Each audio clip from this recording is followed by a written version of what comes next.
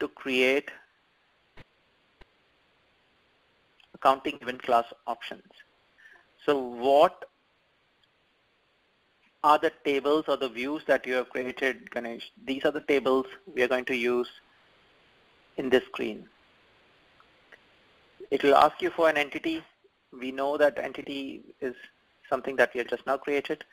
It will ask us for event class. We have only got one event class. We've got only one process category that we have created. Default general category, it's asking you for default general category, which means that the category can also be changed at the time of rule definition, but this is a default category. Okay. So we have a default category for FA. Now, what is a transaction view? When you get journals created using FA, in the journal entries or the journal display screen, you see some header information, some kind of con contextual information about the journal. Those pieces of information come from transaction view. So Ganesh, you'll have to create a wrapper view and what I suggest is just create a select star from the same table. Okay, so just put underscore V at the end of that table. Okay. I think. I'll see if I can connect to SQL Developer.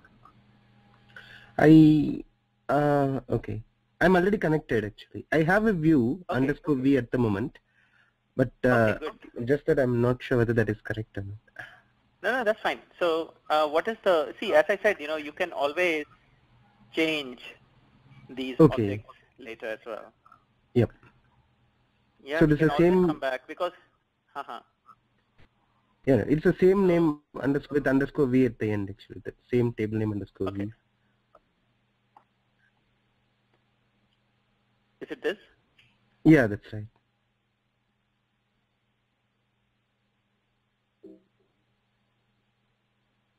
Yeah. Why did this go away?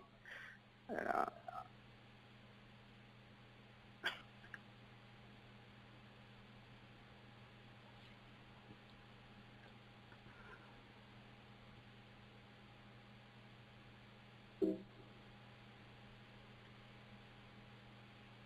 So in my journal, I want to show the batch header ID. So I can just pick up the value from here now because you've created all these columns, right? These are the columns that you created in the view? Yeah, yeah, that's right. Perfect. So I can just put uh, where's the staging journal header ID? This one. Second is I just want to give it some name or something, you know, some something descriptive. So the column that is going to contain the descriptive value in this is so system transaction reference, let's say. Yeah. Let's okay. say what the transaction reference is. So I will say transaction reference.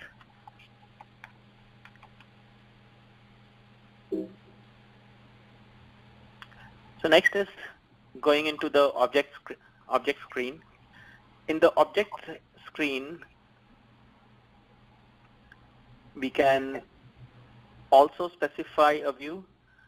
The difference is this view that we have specified here, transaction view, has nothing to do with the accounting rules.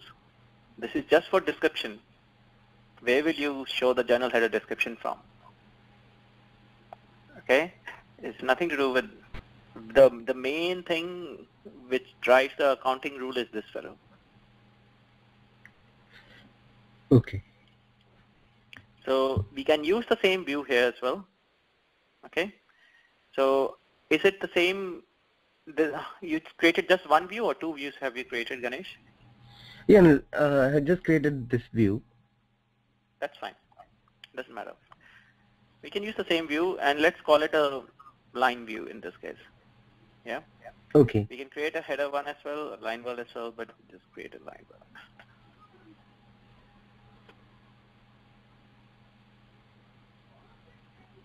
And if we want to specify uh, uh, header, we can just use the same one as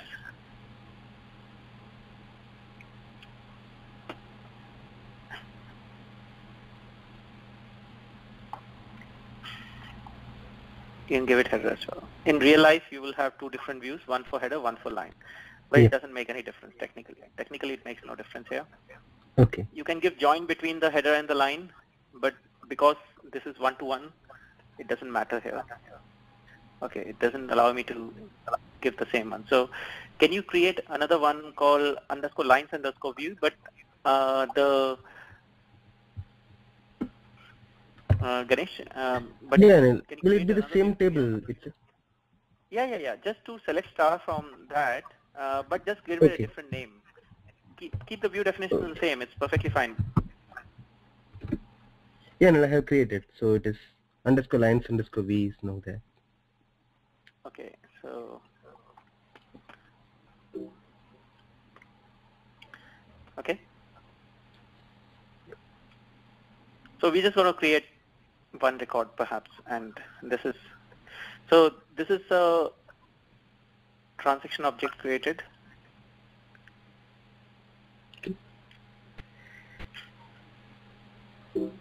You see this button called create and assign sources.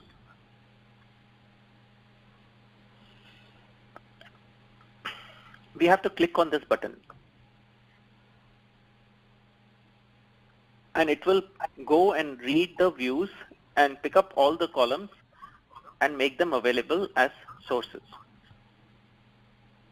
This bit takes a bit of time because it goes and finds out all the columns, it creates sources.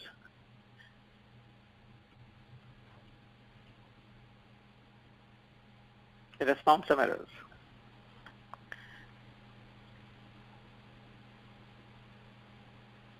Let's see what that error are.